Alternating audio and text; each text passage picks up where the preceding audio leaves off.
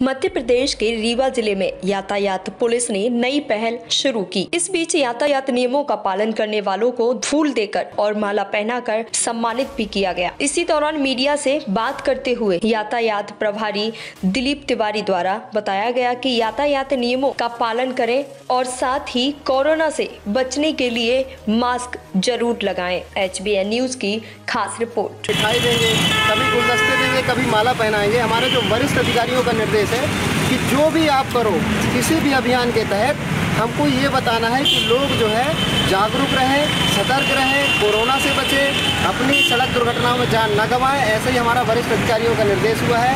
आज दिनांक को एसपी सर के निर्देश पर और हमारे डीएसपी सर ट्रैफ़िक सर के निर्देश पर मैं और सुविधा अखिलेश दोनों लोगों ने मिलकर के ये काम किया है।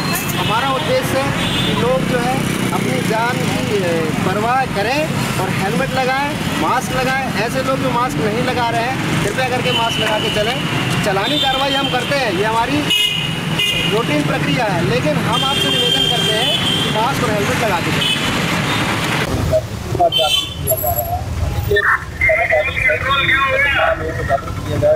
कम करने के लिए हेलमेट लगाने के लिए प्रेरित हो सर और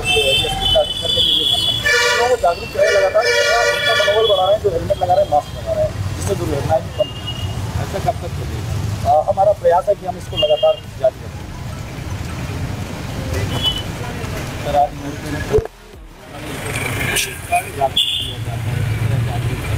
देखिए, हमारा उद्देश्य क्या सच है, क्या झूठ?